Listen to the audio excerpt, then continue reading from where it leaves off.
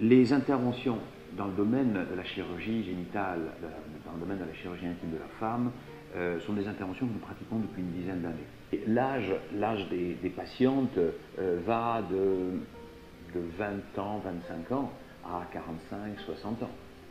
Il y a toute une, liste euh, des, interventions dans la chirurgie intime de la femme, donc la réduction des petites lèvres, l'augmentation ou la réduction des grandes lèvres également, la vaginoplastie, c'est-à-dire que parfois, euh, par constitution ou bien après des accouchements, etc., euh, le vagin d'une femme peut être dilaté.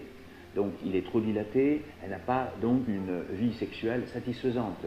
Évidemment, nous allons explorer, est-ce euh, il y a aussi un problème fonctionnel, c'est-à-dire une descente d'organes, une fuite urinaire, etc. À ce moment-là, un chirurgien gynécologue compétent euh, va nous assister et va, faire l'intervention qui, lui euh, qui lui incombe. Il y a également dans la sphère de cette, euh, de cette, chirurgie intime l'hyménoplastie, c'est-à-dire la reconstruction de l'hymen. La reconstruction de l'hymen, c'est en fait à partir des vestiges, à partir de ce qui reste de la membrane hyménéale, reconstruire la membrane hyménéale, l'hymen, pour qu'il soit le au maximum comme il était avant.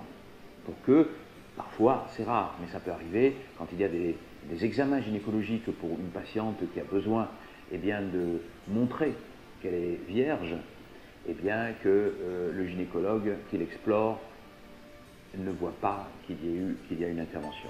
Euh, certaines patientes viennent pour offrir leur virginité à leur mari, de nouveau. Mais c'est très épisodique c'est un fait social, un, je, ne le, comprends pas, mais euh, il existe.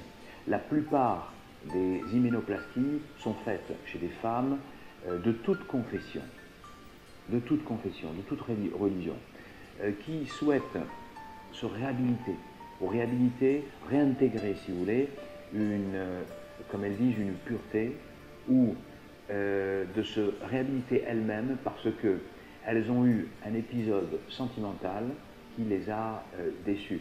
Un homme qui les a déçus, un homme qui n'était pas à la hauteur. Et alors, pour elle, la membrane hyménéale, avoir un hymen intact, c'est redonner l'amour et la sincérité à l'homme qu'elles vont connaître.